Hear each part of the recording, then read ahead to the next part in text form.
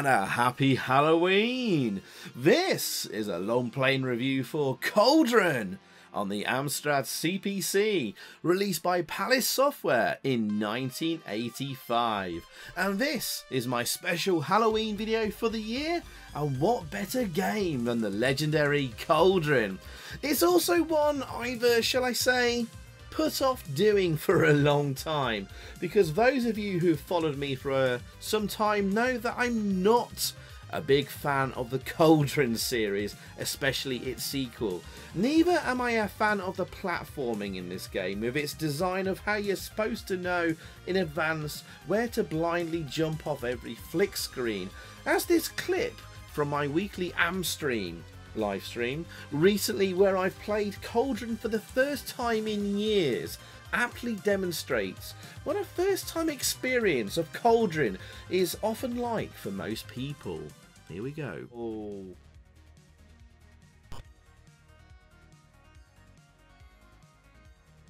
What is this bullcrap game design? Right, so this this immediately annoys me. Right, so you have a single screen. You have a single screen platformer, right? Okay. And you move from one screen to the next. And it starts you on the next screen with an empty space and immediately kills you. Why is this game design? Why is this game design? That! Why is that a thing?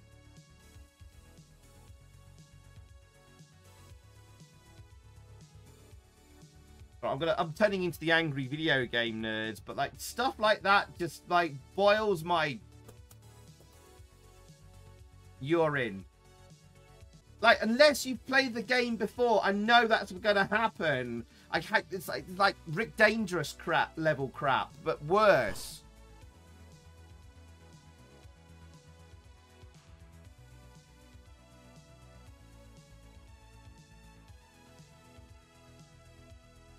What? That's even worse. That's even worse. That is even worse. That's just trolling. Not only does it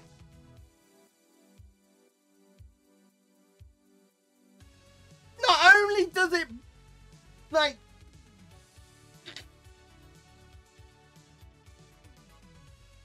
not only does it like uh, it puts a bloody platform just to troll you above where you come onto the screen and still drops you to your bloody doom.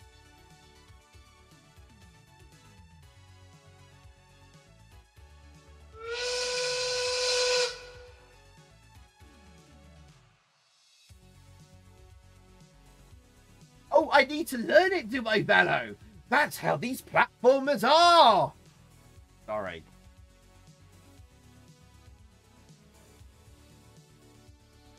To be fair, I think this is actually the final room actually supposed to go to. All right, okay. Now, now, now, what I'm going to do here is I'm going to jump, right, onto the next screen. And I guarantee you I will jump, right? And I bet you dollars to donuts that I'll jump and there won't be a platform like uh, the a space. I bet you there won't be a platform there, and the platform will be literally as I walk onto the screen, and I'll fall to my doom. Watch what happens.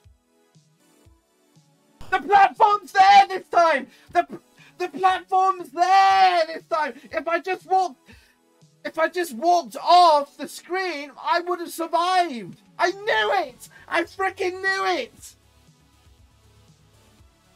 if I didn't jump,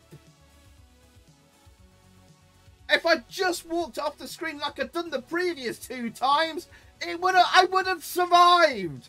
But this this time, I jumped! I died.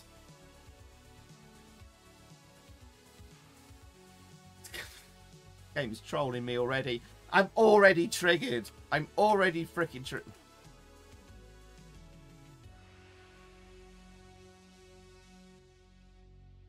Okay, all right, as well. I've just learned something. You don't move with the lift. If you stand still on the lift, you don't move with the lift, okay? Okay. So yeah, there you go. I don't think there's any other game on the Amstrad that makes me as angry as Cauldron 1 or 2. And yes, there are big issues with the game design in this one. And we'll talk a lot more about that later. But now we've got that out the way and you know what to expect, you'll understand just how freaking difficult a game Cauldron is and how excruciatingly painful this was to beat and to get done in under a week in time for Halloween today. But before we start, let's read out the excellent manual from the game which tells us the story and what we have to do, which they've done in rhyme rather cleverly. And here we go. Hearken witches everywhere, take the challenge if you dare. Tomorrow night 'tis Halloween, where only one shall be witch queen. Six ingredients thou must take, and in the cauldron boil and bake. Juice of toad, eye of newt, wing of bat, hemlock root. Mouldy piece of splintered bone, found from deep in musty tomb. Molten lava cooled a while, taken from the smoking isle. Then the spell shall be at hand, to rid the pumpkin from the land. So play a game of high adventure, hold control and then press enter. Very good, very nice end there to uh, load the game up. So there are actually eight items in total, not six, for the witch to collect. Six of them are ingredients uh, for the witch to conjure in her cauldron to, to defeat the Pumpkin King and collect the golden broom.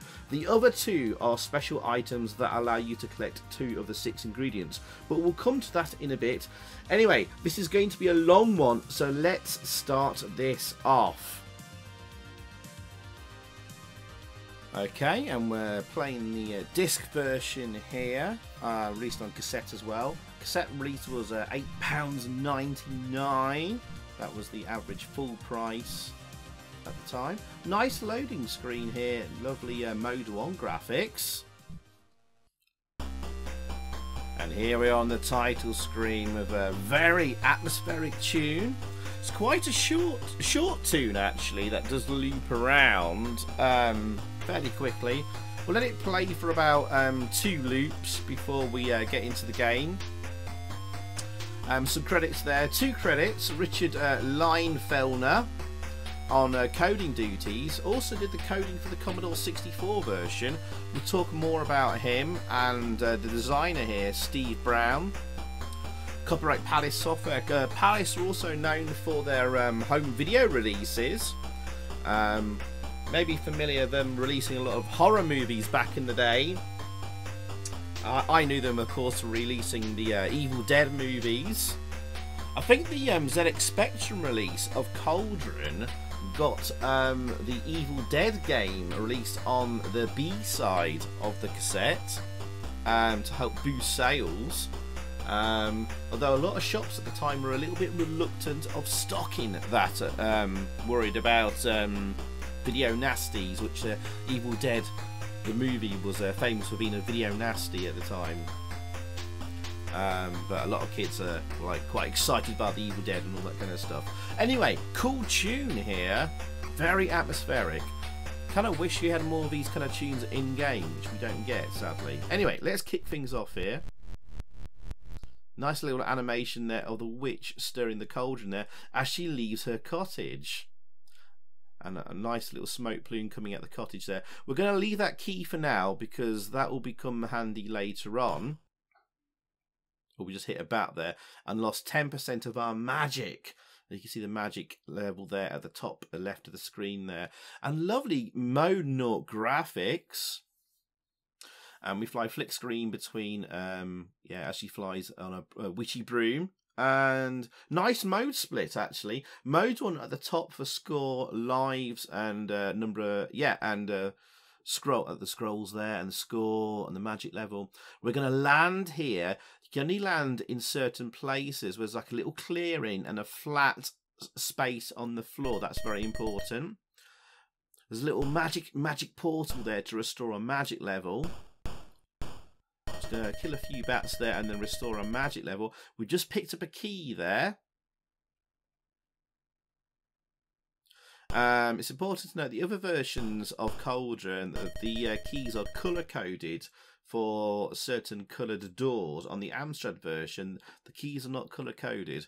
Uh, we'll come we'll come to different uh, the differences between the versions in a little bit. Uh, but we're going to pick up this key here.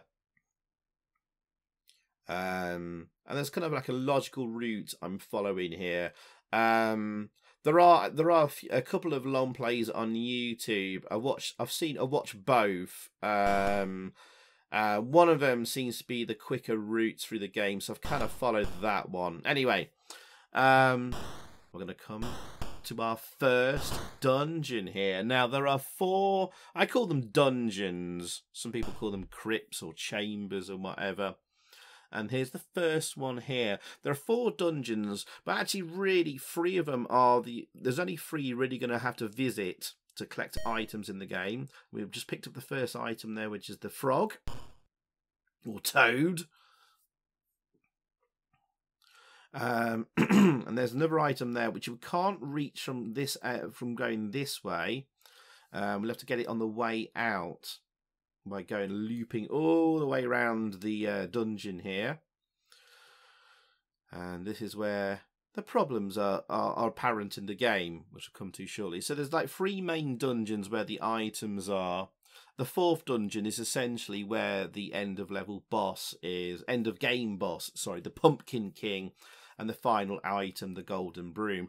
But you can't confront the final boss, the Pumpkin King, until you've collected all six items, well, actually, technically eight. I'll come to that in a second, why there's eight. Um, when you've mixed all six items in your cauldron in your witchy cottage, then you can confront, confront the Pumpkin King and kill him, and then you can collect the Golden Broom, and the game is won. So I said there were six items. There's actually eight. So let me just get my notes here. Um, I think I mentioned this earlier. So uh, just to repeat what I was saying earlier, there are actually eight items in total. Um, um, where's my notes? Just gonna scroll through here. Um, oh crap! I've lost where I made a note here. All right, I found where I set it. Right, so it's important things to note here. So the chest is required to pick up the bones, right? And the urn is required to pick up the lava. The problem is the chest and the lava are both in the like volcano dungeon and both the urn and bones are in the graveyard dungeon so of course logically that means one of those dungeons will have to be visited and traversed fully twice. Sadly the urn and the chest are not located at the start of either so you can't just pop in grab it and then leave quickly. So Okay, so just to repeat that, right, the chest is required to pick up the bones, and the urn is required to pick up the lava. The problem is the chest and the lava are both in the volcano dungeon, and both the urn and the bones are in the graveyard dungeon. So it means one of those dungeons will have to be visited and traversed fully twice. Okay, does that make sense? which means that, that the Amstrad version is probably the longest of the three versions of Cauldron to complete. So, Cauldron appeared on the uh, Spectrum Commodore 64 and Amstrad, and the Amstrad take is is the longest one to complete, quite by a significant margin. I think the Spectrum and the Commodore 64 versions you can complete in about 20 to 25 minutes. The Amstrad version um, takes nearly an it takes nearly 50, 50 minutes to an hour. Actually, maybe 45 to 50 minutes or something like that. So, yeah. Um, and that's because on the Amstrad version, they've made it a little bit harder and longer by making you have uh, making you having to repeat one of the dungeons because of this um because of this thing I think on the uh, Spectrum or Commodore 64 version, the urn to collect the like the lava, you can collect it at the start of a dungeon and then just pop out again. Anyway, well, we just did this first like dungeon fairly quickly, which is quite good.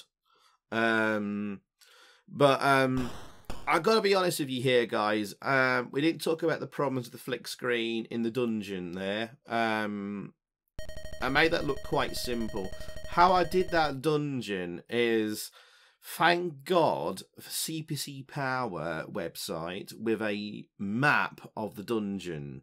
And I'm not talking about like a hand drawn map that someone's made. Um, I'm talking about someone's taking a screenshot of every um, room of that dungeon and pieced it together.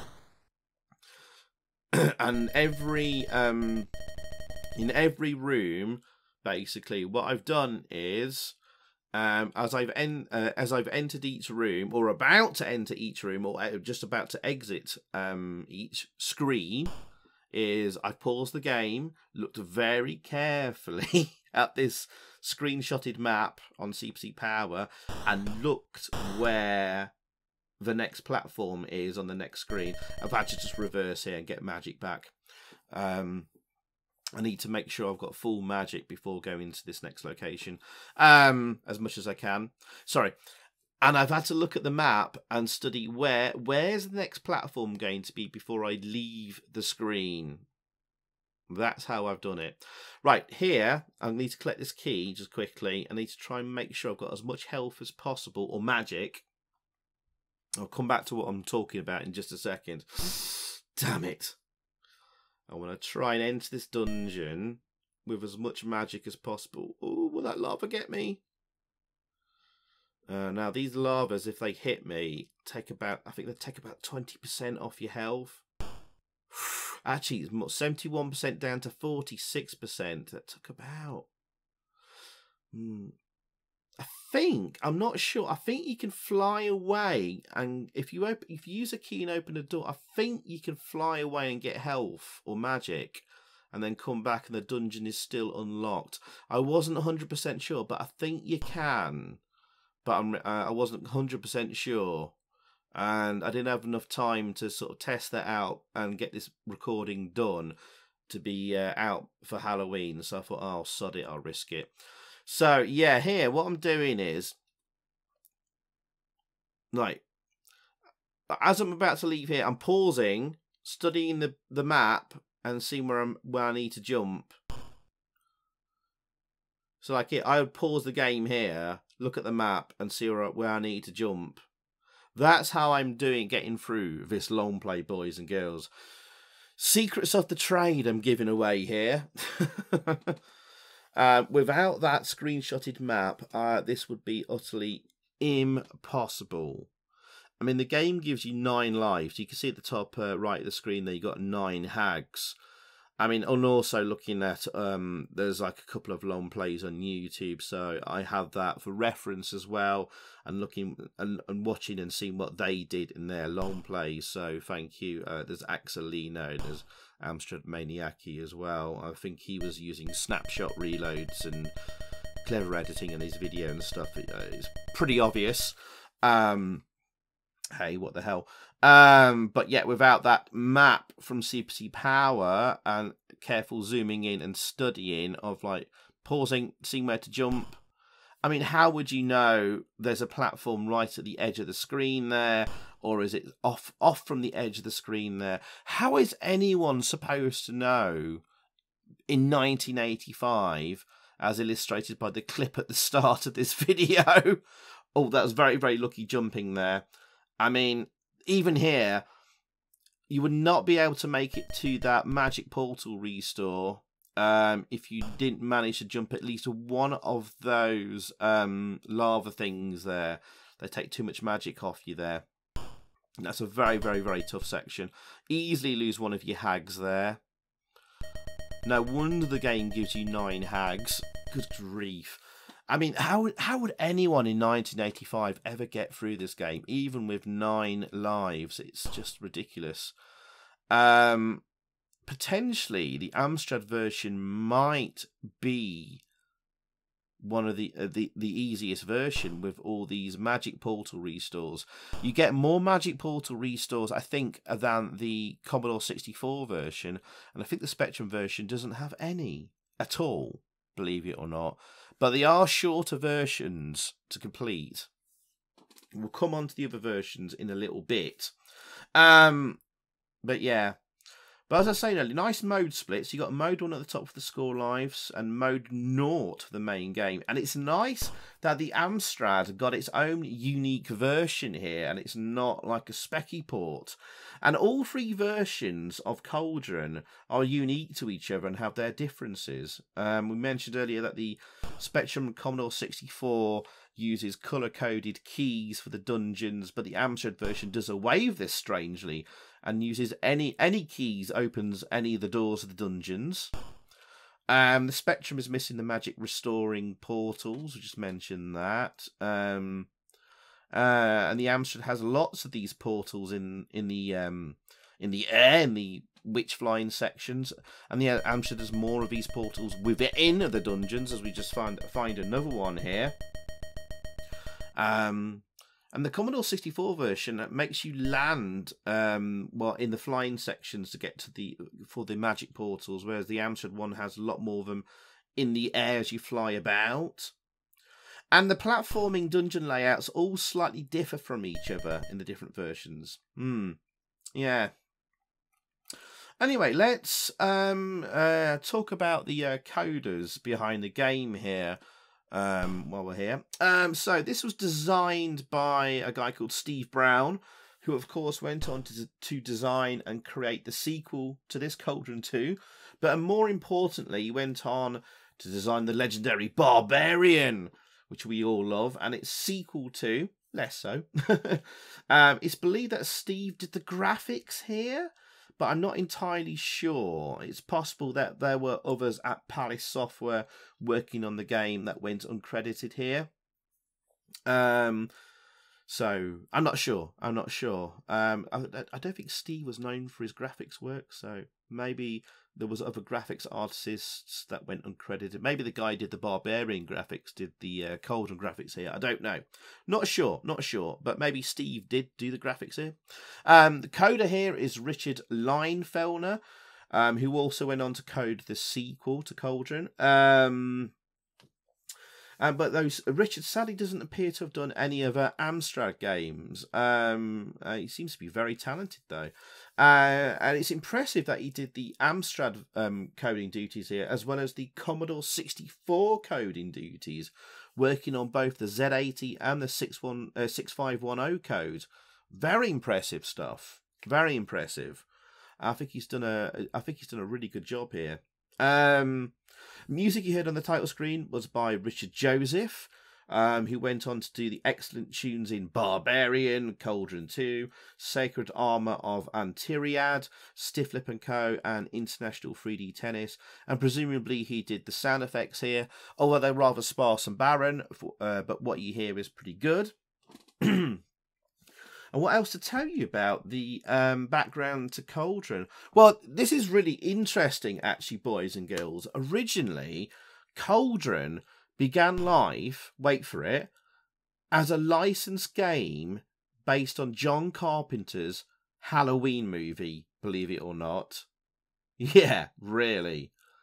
Um, however, Steve Brown just couldn't come up with a concept that worked.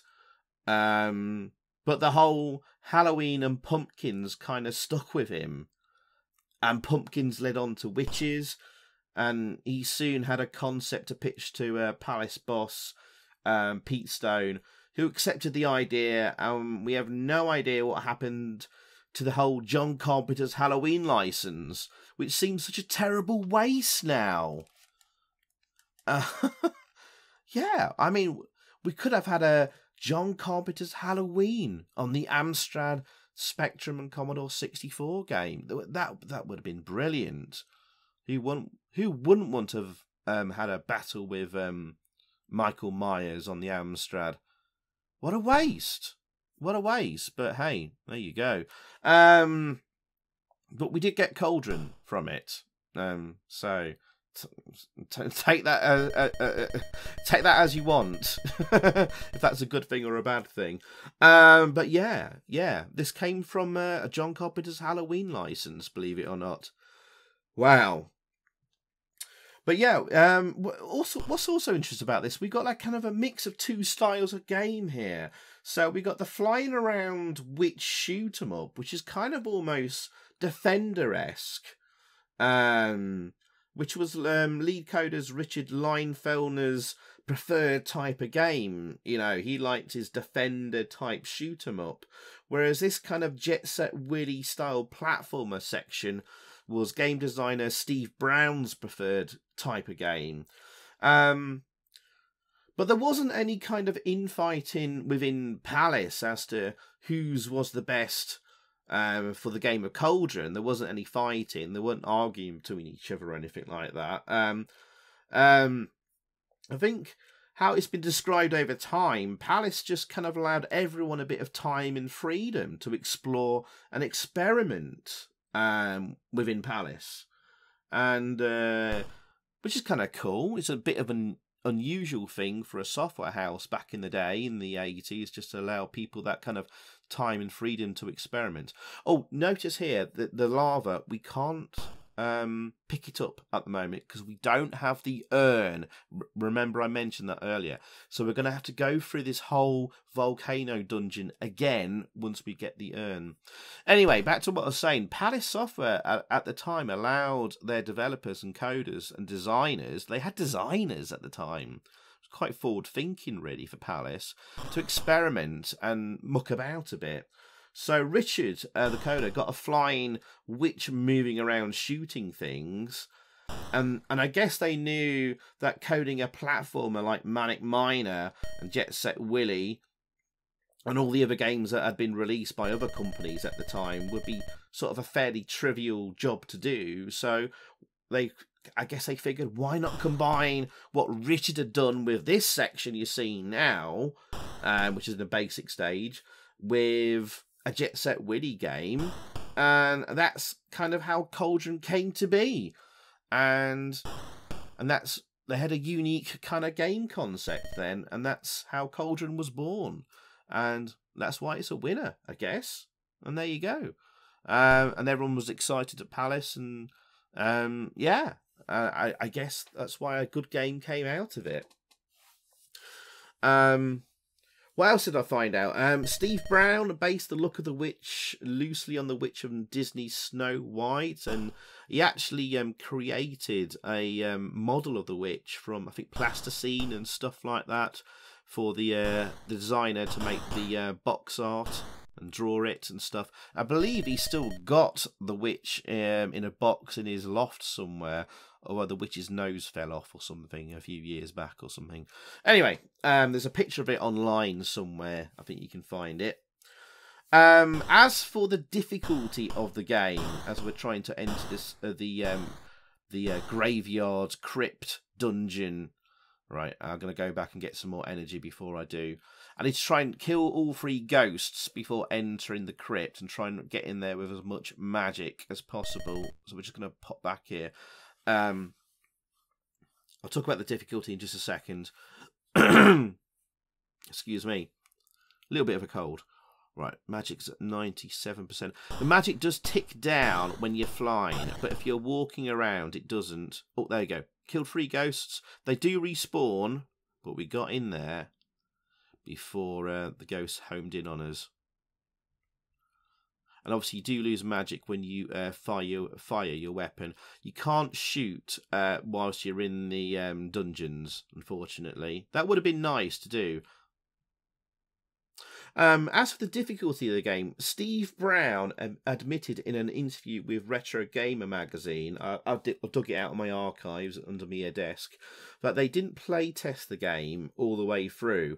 uh, which kind of makes sense. Um, only individual parts they play tested at times, and um, yes, you can tell, can't you, boys and girls? And Coda, the Coda Richard adds that they only tested the game with infinite lives on. Hmm. And that kind of makes sense. But really, I mean, what were they thinking here? Now, look, where do you drop here? How do you know where to drop? I mean, look, there was only one place you could have dropped. One thing I haven't mentioned here as well, there is fall damage. You've not really seen it in action here because um, I've not fallen to my doom and died. Um, I'm going to try and do this without losing a life, and I do do it. Um, but there is fall damage in this game, so if you drop too far, the witch dies. I hate fall damage in platforming games. But yeah, that's another thing that kills you. Um, obviously, I'm making this look e- maybe a bit easy because I'm not dying. But dear God, there's fall damage in this game to make it even worse and even harder. I mean, so obviously we know we need to drop to this platform here. I mean, do we drop to the left or do we drop to the right? Do we jump? I mean, how do you solve this? I mean, you've got a flick screen platformer. I mean, I mean, this is early days of obviously computer games in 1985. I mean, how do you solve a problem of this? How do you let the game, uh, the, the the player know where do you exit a screen? I guess you just need, I don't know, a, a long I don't know, a long platform across the bottom of the screen with just one hole to exit? Is that the solution?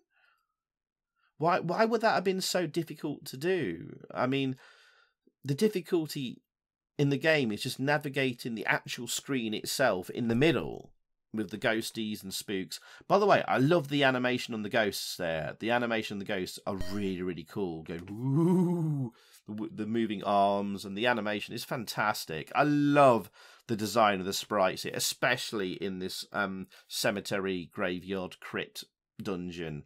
I think that's fantastic. Love the bats. I love the uh, I love the uh, bones there as well, and the skull. Fantastic design. Um, so Steve's done a great job on the design of the sprites and the look of them and the whole aesthetic and stuff. The atmosphere is fantastic. Just needed some in-game spooky sounds and uh, maybe a tune or something like that, just to add a little bit more to it.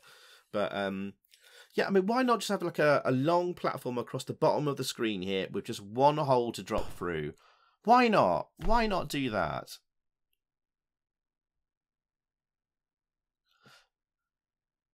I mean, that's fine with a long, just a long uh, brick path there to walk along. That's fine. I mean, uh, it's such a shame. It's such a shame that Cauldron is just ruined by the um, coin toss of like, which way do we drop? Left, right, jump?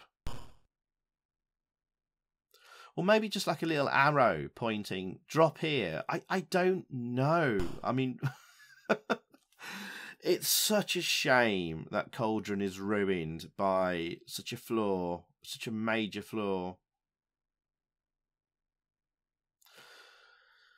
and that's what yeah that's what spoils it. It, it. it's it's such a big shame and it's so frustrating it make it honestly it just that's why i get so angry about cauldron because they've got so many things brilliantly done and so right the graphics are fantastic really for 1985 it looks one of the one of the best platformers. I mean, it's a simple platformer, simple. So you know, so there's beauty in simplicity. It really does look be- really really nice.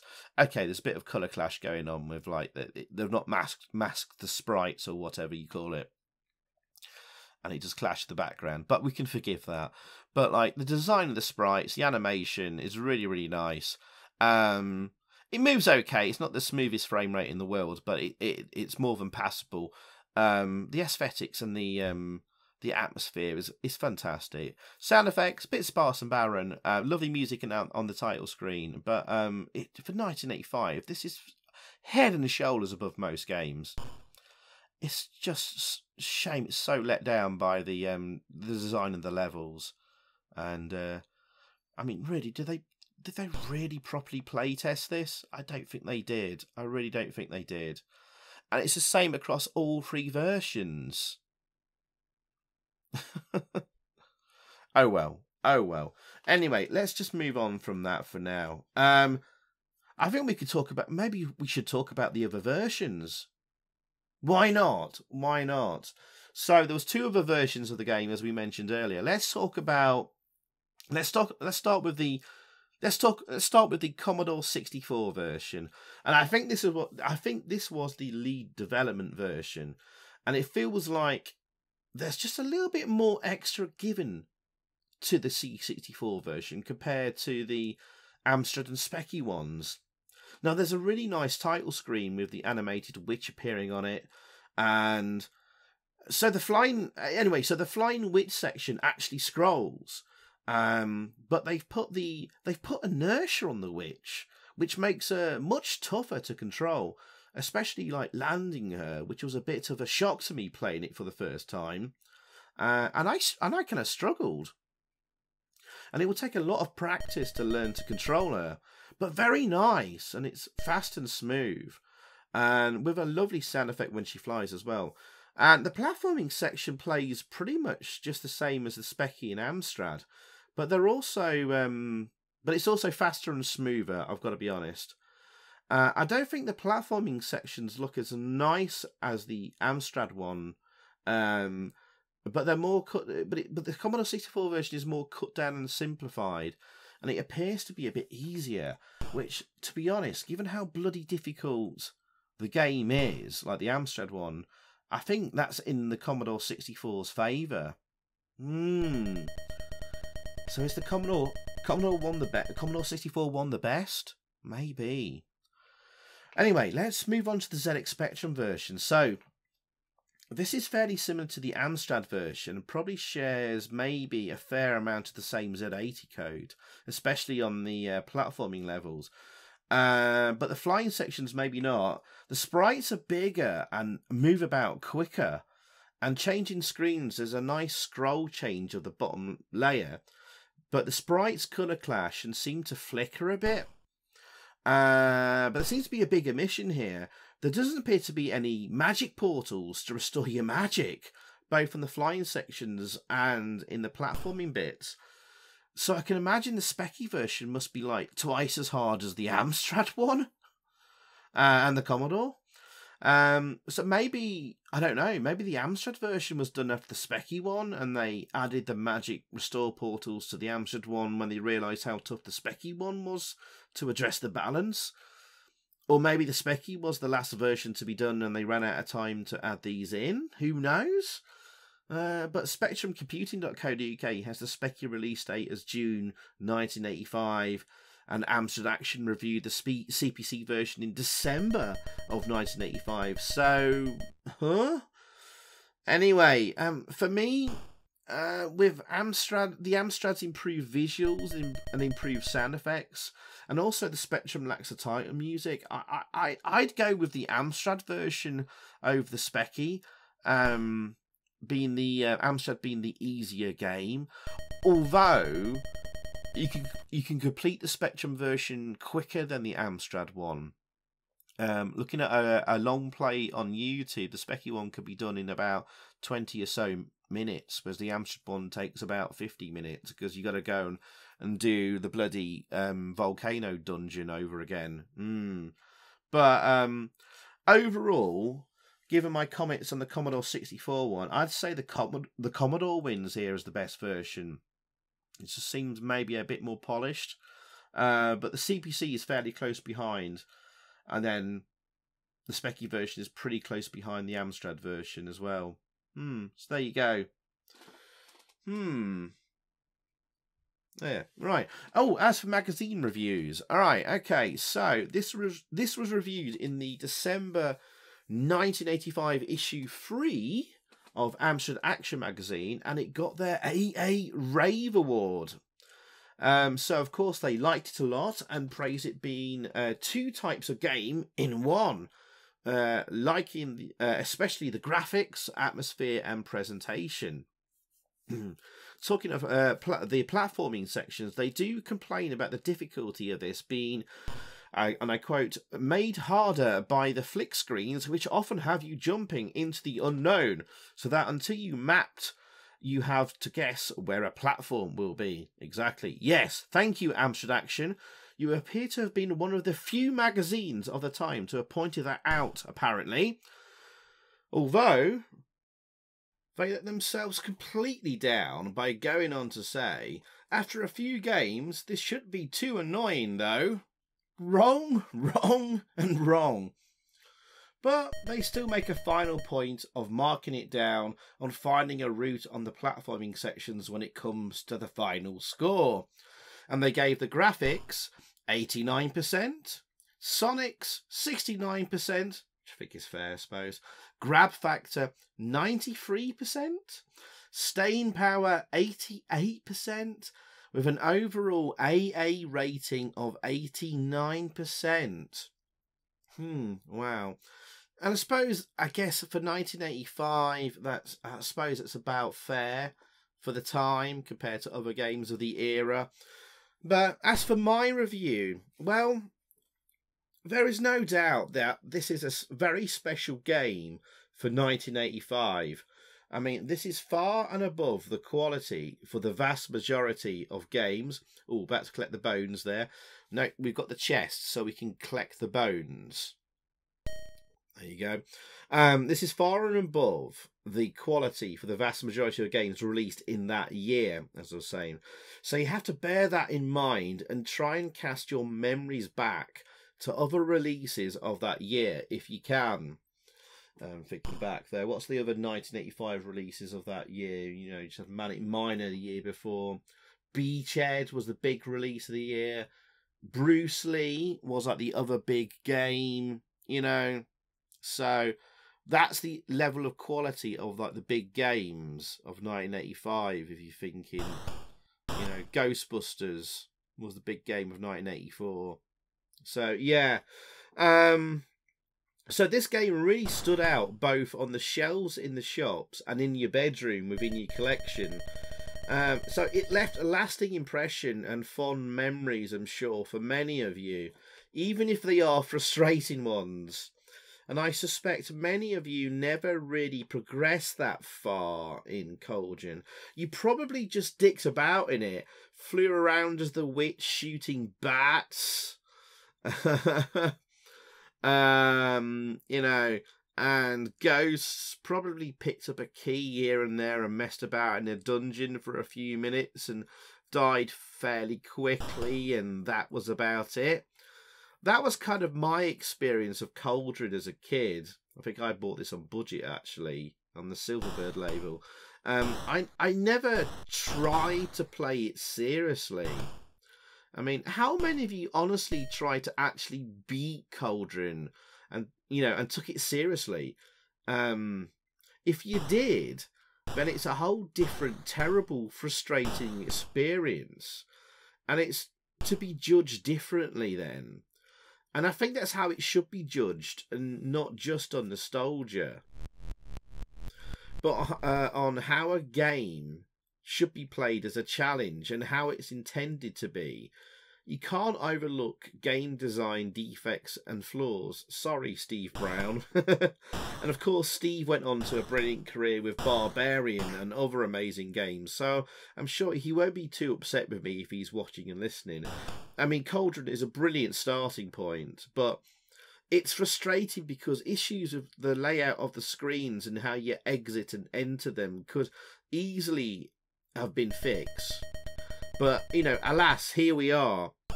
And it could have been a 9 out of 10 early classic, given its fabulous graphical design and animation, atmosphere, and all the other things it does right. But I, will have to knock it down a few points. So I'm going to give this a 7.5 out of 10, or a 75% score, which may seem harsh to some, but I'm sorry. but without a screenshot for nearly every bloody screen in each of the dungeons, which I've had to use here, or unless you're one of these rare people with a perfect pho- uh, photographic memory, this is nigh on impossible. So I'm, I'm afraid it has to be scored appropriately for that. But don't let me ruin your love for Cauldron if you have it. You know? Let me know what your scores are for this game in the comments below. You know, and be honest. Be honest. I mean, if you love Cauldron, fair enough. You know. Uh, but be honest about it. You know, don't let nostalgia cloud your judgment if you can. Go back and play Cauldron and see how far you get in the dungeons, and you know, you know, play try and play it properly to see if you can actually get through the game, and then honestly, honestly give it a score. Then, um, but yeah, yeah, that that's my score. I think I think that's fair. I think that's fair. For the time, it's a great game, but but there's serious flaws in the game design. and here we go. We've now got to go back and go through this whole um um volcano dungeon again to collect the um the lava pickup. We've got the urn. We got the urn from the um what was it the um crypt dungeon or the cemetery dungeon, graveyard dungeon, whatever you want to call it we've got to go traverse this whole thing again. Um, and th- that will be the last item, I think. Uh, and then we can go after the Pumpkin King and get the Golden Broom, and the game is won. So, kind of on the final stretch here, guys and girls. So, there you go. Um, yeah. I think this was a good game to do for Halloween. so, happy Halloween, everyone.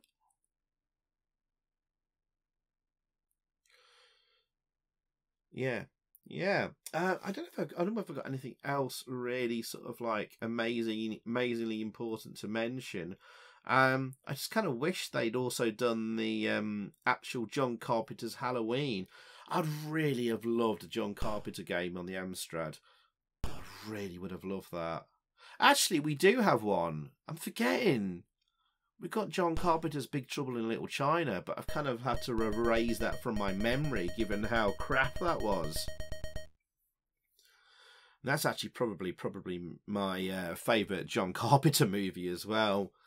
Oh gosh, there is. A, I I have actually done a long playing review for uh, Big Trouble in Little China on the channel, so do go and check that out after this video if you want to.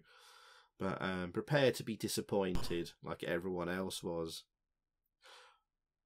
I don't think there's any other John Carpenter game movies that got games made of it. I'm, I'm having I'm having to think now. We had there was the Thing, never got made into a game apart from uh, on the PC, Xbox, and PlayStation later years, and that was okay. It wasn't too bad of a game.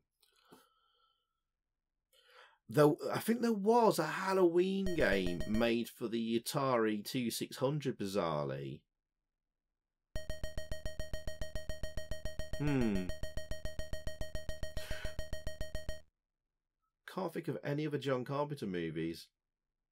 They Live never got made into a game, I don't think. Prince of Darkness, don't think did. The Fog, no, that never got made into a game. Christine, no, don't think so. Starman certainly didn't. Am I forgetting? Am I forgetting any of the John Carpenter movies? Probably. Anyway, enough about that. Okay, we're not too far from the end here yeah, so uh, the other thing that annoys me a little bit about Cauldron is, you know, there are unavoidable hits you have to take um, from certain enemies. That kind of triggers me a little bit. I, I like to be able to uh, be able to like find a way to be a, to be able to avoid all hits from all enemies. The, I like to be able to find a certain a way to avoid all hits. But no, there are certain there there always are going to be certain enemies that you can ne- always have to take a hit from, and that's kind of a bit annoying to me. I don't know if it like triggers some kind of hidden OCD in me. I don't know. I don't know. But hey, hmm. I find that annoying. Like when we jump when we jump here, we are gonna take a hit from a bat there. and sometimes moving underneath a bat will like that's just above your head. Sometimes won't hit you sometimes will. So some there's a little bit of iffy collision detection sometimes in this game. The collision detection isn't always perfect. So hmm, i feel like maybe actually knocking a, another half a point off my score maybe taking it down to seventy percent rather than seventy five percent. No, I've I've said I've said I've given him a score. I'll stick with it. I'll stick with it.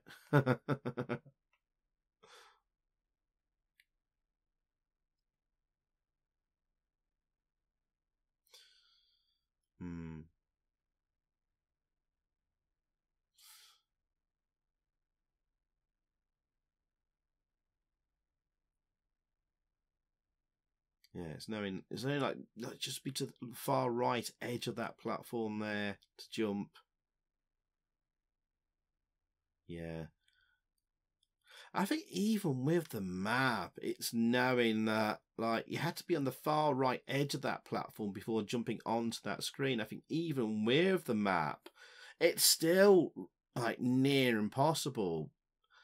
Like I would have landed on that lava, like I had to look at like the um, long play videos on YouTube as well as a reference, not just the map. So I was using the map and like uh, other people's long play videos just to get through this. it's ridiculous. It really was ridiculous making this. This was a painful, painful, excruciating uh, experience doing this, and um, I didn't really have time to practice and practice this one. So my last long play video was Super Gran, which we I finished last uh, Monday, and I went straight into doing this one. And normally I'd have a lead in time of maybe a week or two just to sort of practice through the game. Um, so I really I kind of cheese this one by using the map and other people's long play videos just to just get this one done in time to get this one released on Halloween for you boys and girls because I set myself a uh, target deadline, and uh, so every screen and almost every jump, I had to pause, look at the map, maybe refer to um, a, a couple of videos that was already existing on YouTube and go, where are they jumping from? Oh, they're jumping from the far left edge of the platform or the far right edge, or they're jumping from the middle of this platform. Unpause, um, position myself, jump, pause, look what they're doing, unpause, and all that kind of stuff. That's how I did it. really, it it was that tedious, and um, but that's you know how I got through it. Um, almost nearly every, apart from obviously here, this was quite obvious where you needed to jump at every time, but um, like when we get into the edge of the screen and and dangerous bits, that's how I had to do it to get this recorded in time. I mean, how was how was any kid aged I don't know seven, eight, nine, ten years old back in 1985 meant to do this? I I honestly don't know. I honestly don't know, and I'm tempted to take more points off the score. I really am. I know there's a lot of love for this game out there, and people go, "Oh, I love Cauldron." And, and I see people on forums, Facebook groups, getting all nostalgic over um, Cauldron. Hey, there we go. There's the last item, the uh, the the golden lava thing. Um, getting all nostalgic over Cauldron, and I can see why. I understand why. And me being mean about Cauldron and giving it perhaps a lower score than maybe some people would hope I would, I'm probably gonna get some I don't know, thumbs downs and maybe some like comments in the you know uh, some comments going, "Oh, you've been mean about Cauldron," but come on, come on, it's. Oh, it's frustrating game design. Anyway, I, I, have banged on about it enough. Anyway, we're near the end. We're very near the end. Oh, watch out! These, these for some reason these birds take off take off a huge chunk of energy. So like 30 40 percent energy, oh, or magic. Sorry. So watch out for them. Just fly under the last one on the screen. Might as well rack up. Wow, down to 38 percent energy there. It's like I think that took about forty percent off, something like that, maybe higher. We can pick up this key here. You can actually just swoop down and pick that one up. Don't have to land and walk and get that one. That's actually quite an easy key to get. I think that's be the last key we need. Cool. Lots of magic restores in the Amstrad version, which is cool.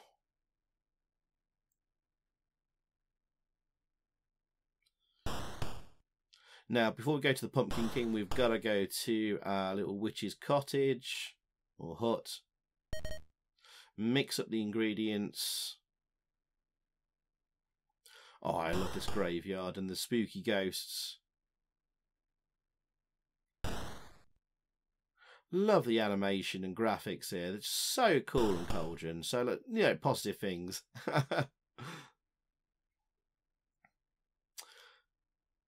do wish there was like a little bit of extra sound effects, maybe some music. Uh, when the witch flies on the Commodore 64 version, when she's flying, you get this kind of like really cool kind of kind of like sound on the Commodore Commodore version, which is really really cool. Um, shame you don't get that on the Amstrad one, but hey.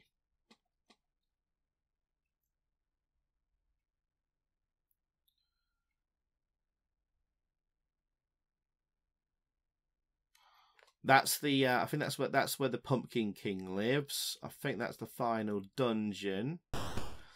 Uh, and that, when you fly in here, the screen, uh, the area does like wrap around horizontally, so it just wraps around continuously.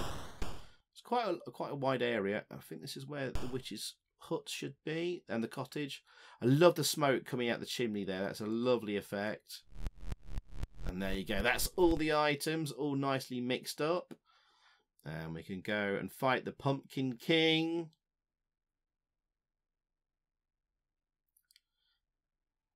Just abuse the flick screen there to reset the bats. Magic just tick down when you're flying, doesn't when you're in the uh, dungeon though, thank thankfully. As I mentioned earlier. And here we go. Just go off the screen and come back again quickly. We don't need too much magic here. You can see the pumpkin bouncing for uh, bouncing there at the edge of the screen. He disappears off when we get too close. That's a nice touch. and there we go, just chasing off after the bouncing pumpkin. A foreshadow there for the uh, sequel, Cauldron 2 which we defeated on last Friday's uh, Am stream. So if you want to see me beating Cauldron 2, check out the Friday Am stream, the Halloween Am stream we did on Friday. So if you're not sure, if you're watching this uh, much later than this video goes live, look out, uh, just search for the Halloween Am Scream 2022. We actually got to the end of Cauldron 2 and beat Cauldron 2 with a lot of snapshot reloads. There you go. And there he is, the, the Pumpkin King. He is defeated. And we can get the Golden Broom to be the uh, Witch Queen on Halloween. Yay! There you go. Well done. Thou hast completed Cauldron with a score of 17,800. The pumpkin is dead. Long live the pumpkin. Well, he comes back in Cauldron too. There you go. And there you go. That is Cauldron completed. Hurrah. Finally. Took us nearly an hour.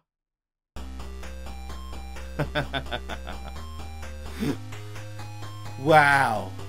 Finally. Finally.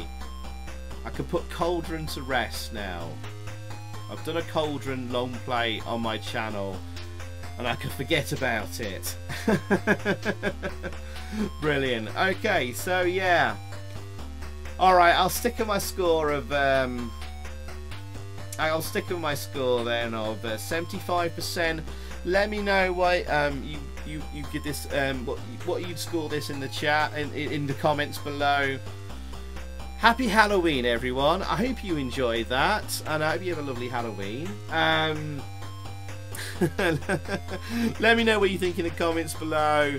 Thank you ever so much for watching, and I'll see you all again very soon.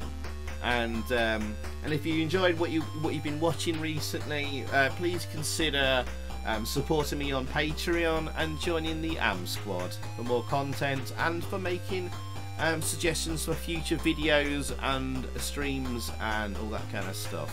So thank you very much. Take care all. Have a lovely Halloween. Happy Halloween. And see you all again very soon. Goodbye. Bye.